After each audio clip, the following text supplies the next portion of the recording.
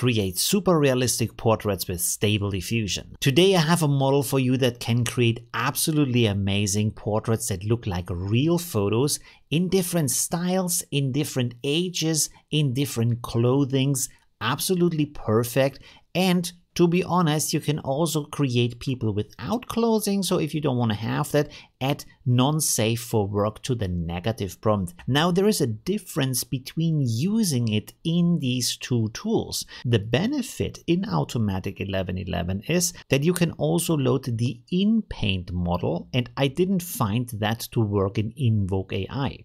Now when we go over to Invoke AI, you can load that model if it is in the Pickle Tensor version and it creates absolutely amazing portraits. Now you can use it as is, just as the CKPT file, but you can also use it in combination with the VAE file and then the portraits get even better absolutely mind-blowing. This looks like a real photo. Let me show you how to load this. So first of all, you have to go to the Civit AI website to the model page that I've linked below. And over here, you do have a download link, but this is actually for the in-paint version. So don't be tricked by that. You want to scroll down here where you have the versions and click on the version 1.3. And then here on the right side, you have download links.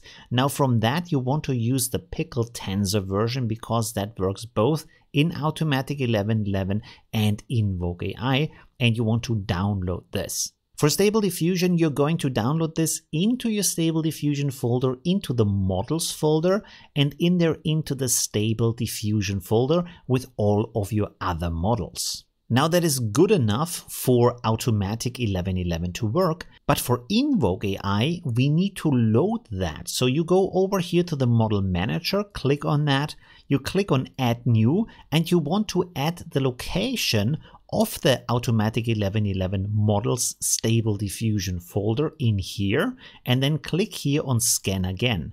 Then down here you have the models you want to load. So you want to select them from the list and then click Add Selected. Now, after you've done this, and this is a very important step, you want to search here for the model. So type RE for real, select the realistic vision model, and in here, you want to add the VAE location. Now, where do you have that? Inside of your Invoke AI folder, you go to models, then you go to LDM, to Stable Diffusion V1 and there you have the VAE CKPT file. Right click on that, copy as path and then you copy that path in here for the VAE location and click here on update model.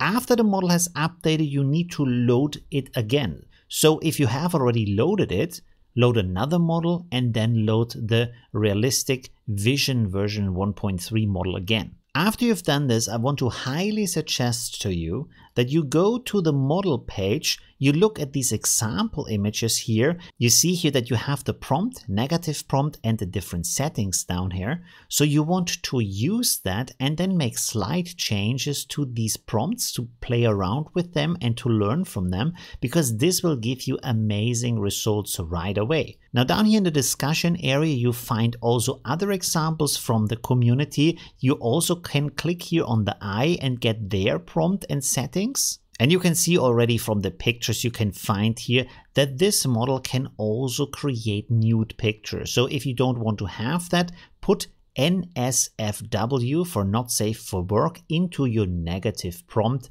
And you can see I have done this here. In Invoke AI, if you want to have a negative prompt, you're using these square brackets, pretty important. Now, one thing I also want to point out here is that in Invoke AI, the prompt is often not taken in as much as in Automatic 1111. So the photos here look a lot more realistic and they look a lot more modern, but you can see in this case it says 45 year old man in wastelander clothes, and that is not really the person we see here in the image.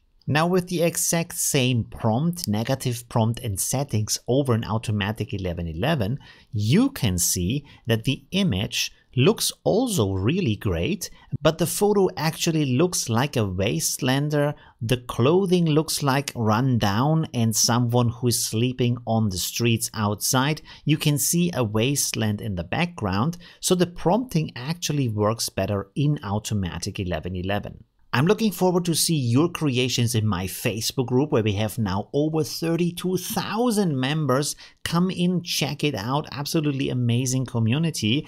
Let me also know what you think in the comments. Leave a like if you enjoyed this video and see you soon. Bye.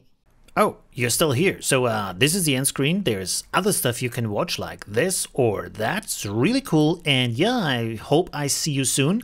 Uh, leave a like if you haven't yet. And well, um, yeah,